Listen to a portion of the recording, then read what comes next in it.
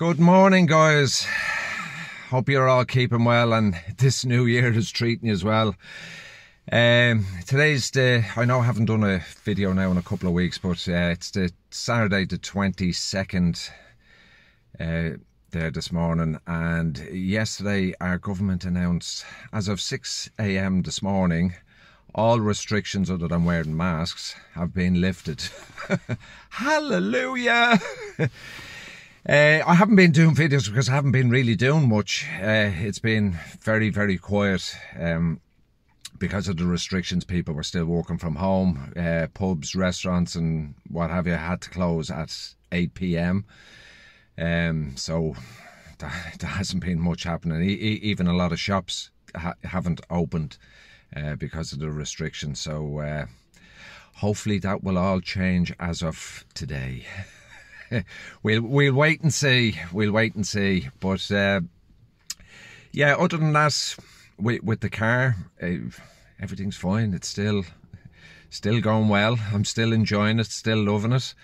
Um, actually, I, have been lucky with with the electric because these are so cheap to run. Uh, I mean, there were some days I was going out. I was only doing one, two fares. I've sat on ranks for three, four hours waiting on a fare.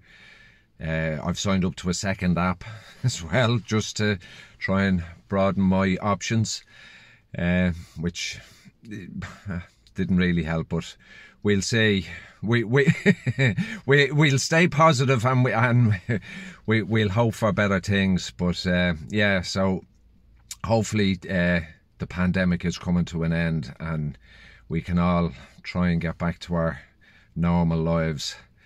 But um, I just say I'm uh, up to uh, just over 380 um, subscribers, and uh, somebody from Australia contacted me there last week, uh, put up a question on, on uh, a, video I had posted.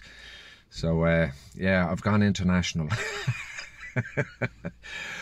but yeah, so look, I, I'll hopefully we, we'll start getting busy again and uh, I'll keep you updated with, with any changes or uh, uh, anything with, with the car. But um, I mean, so far my uh, my experience of switching from diesel to EV has has been a very positive one. Uh, I'm more than happy I done it and uh, yeah, you know, if there's anyone new here and you, you know, do, doing what I done and what a lot of us will do is, uh, you know, do, do, the research to find out is it the right move because, you know, it is a big investment and electric cars do tend to be that little bit dearer than your normal petrol or diesel car. But uh, go for it, go for it. It's worth it. Uh, it really is.